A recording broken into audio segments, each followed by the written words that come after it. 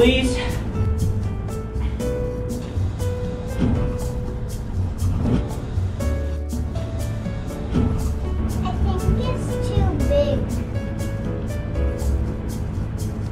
No, I think it'll shrink in the water.